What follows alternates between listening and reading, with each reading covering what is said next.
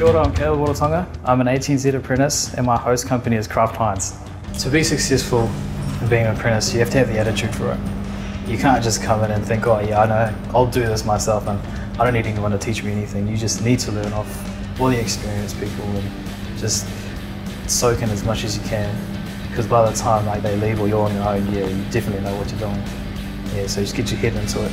Yeah. So I'm doing a mechanical engineering apprenticeship and I am doing maintenance, fitting, fabrication, overhauling like machinery. It's yeah, it's quite a wide-based variety.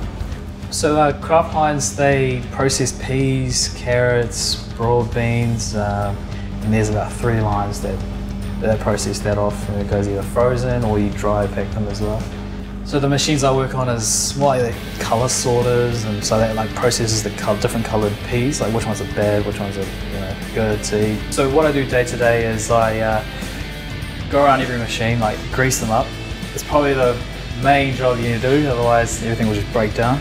Then uh, I'll just go overhaul motors, I'll like take shafts out, do bearings, and, and sometimes like fabrication jobs where I'll just make up chutes or make guards for machines. Your work can be intense sometimes. Yeah, during our like busy periods when it's like breakdown season, yeah, it does get pretty hectic. But once it's over, yeah, you feel relieved and you know that you've done that job, and yeah, you look back at it and say, yeah, did that. See, when I first started, obviously guys will talk about, oh, like get this gearbox ready, and I'll be like, oh, okay, what's a gearbox? I'm more independent now because of uh, what I've learnt. I mean, the bosses like it too, so yeah. set me out on the job and get it done. Yeah, my account manager comes in about once every month just to check up on my book work and paperwork, and he also follows up if I need any like PPE or yeah, if anything's broken, he'll just replace it for me. Yeah, he'll get me on the right track. What attracted me to uh, this apprenticeship was probably actually want to go somewhere in life and start a future. Get my own house, get a dog. So I have a little um, little foxy cross border collie. I have a lot of goals for the future.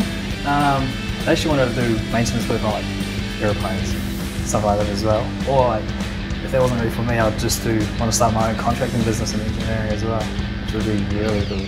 Get your own money and sit back and watch all the other guys do the work for you.